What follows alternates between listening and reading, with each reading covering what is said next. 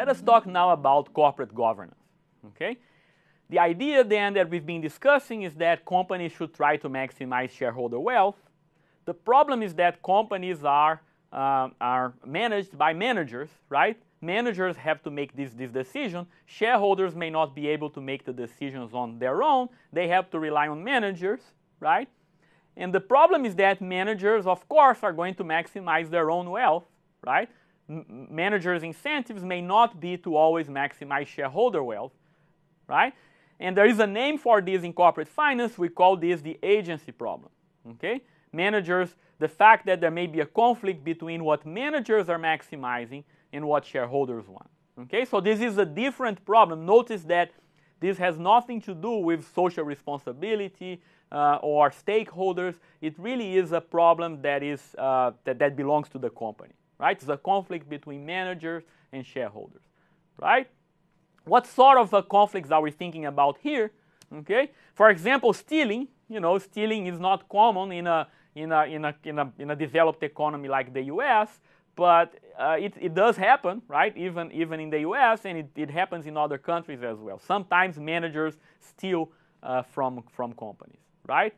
Um, employing family members, right? A family member may not necessarily be the best manager, right? But if you are the CEO, you probably have a lot of power to decide who, who you're going to employ, especially if you own the company as a whole, right? So if you own a lot of stock in the company and you are the CEO, you might decide to employ a family member instead of hiring a manager in the labor market that might be a better manager, right? That's going to be bad for shareholders, but it's going to be good for the CEO. Not working hard enough is another problem, right? Shareholders, of course, want managers to work hard, create value, but managers may be lazy and not want to put on those, the hours, right? And overspending uh, the, the uh, uh, company's money, right? Which is sort of related to stealing, but a more soft version of stealing. You know, one, one issue that, that we talk about is corporate jets, right? So uh, corporate jet might make sense, but in some cases a corporate jet might be, the usage of corporate jet may be a little bit excessive and not be great for shareholder value. Okay, so these are just some general examples of, of what we think of as agency problems. Okay, so how do companies solve agency problems, right? So how can you align incentives of managers and shareholders? The answer is very simple. It's probably something that you have thought about before. It's compensation, right? If you want managers to maximize the value of the stock, the easy way to do it is to give stock to managers, right? That is why, you know, managers own so much stock in companies. Top managers like CEOs, CFOs, the, the, the, you know, the, the top 5 to 10 managers of a company will typically be owning a significant chunk of the stock, okay? And if you think about uh, this uh, um, um, um, uh, practice, it does make sense, right? Because if you want managers to maximize the, the, the, the, the, stock price, it's a good way for uh, this, is, this is a, a, good way to do it because even if managers are maximizing their, their own wealth, they are going to end up maximizing the stock price, right? So this is the idea. However, this uh, practice of giving stock to managers has been uh, the object of a very heated debate recently. Okay, there are many observers, analysts, academics who, who, who claim that stock compensation might have gone too far. Okay, this is just some data for you to, to think about. Uh, CEO pay in the US has grown by a lot more than uh, the average pay of an employee, right? So the average pay of, uh, of, of an employee in the US in the period of 1980 to 2004, which is in this graph, hasn't, uh, hasn't grown by, by much, whereas you know, the, uh, the CEO pay has grown by 8.5% a year. Okay? is also higher than the GDP growth rate and higher than the growth rate in corporate profits, which is 2.9%. Okay, so this kind of data, you know, we know that executives get paid a lot. CEO pay has also increased a lot in recent years. So this this kind of data has generated this debate, you know, on, on whether top executives are paid too much or not. Okay, there are two sides in this debate. Uh, uh, some academics claim that you know this is a market outcome. We shouldn't mess with it. Okay, companies want to pay. Uh, if companies want to pay a lot to hire CEO, they should be able to do it. High pay is just a consequence of a demand for, for talent, okay?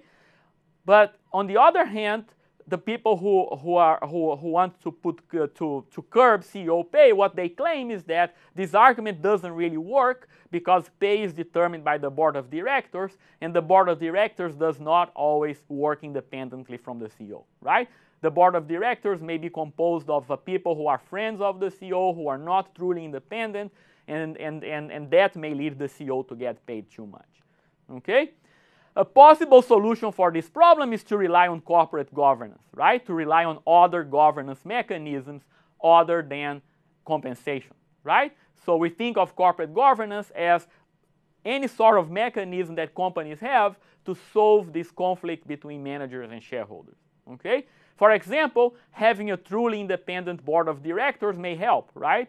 If the problem is that uh, the board of directors is not really Uh, uh, uh, independent from the CEO, what companies can do is to get some independent directors, right?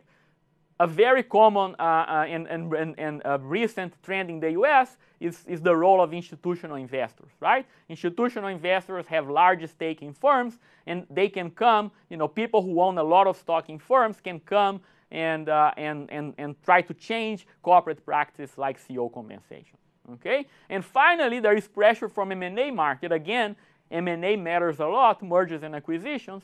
If a company is inefficient, if you're paying the CEO too much and profits are going down, shareholder value is going down, you know, you might eventually die out, either be swallowed by your competitors or disappear, go bankrupt.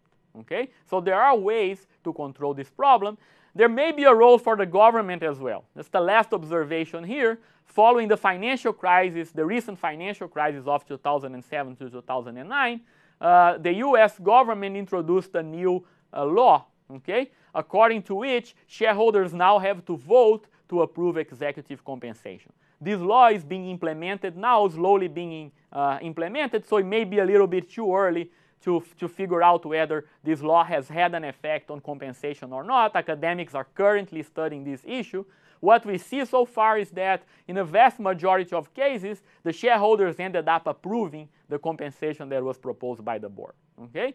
Perhaps this means that the compensation packages were not wrong, were not excessive, okay? Or perhaps it means something else. It's a little bit early for us to say. I think we have to wait a little to, to be able to figure out whether say on pay is going to have an effect on executive compensation or not.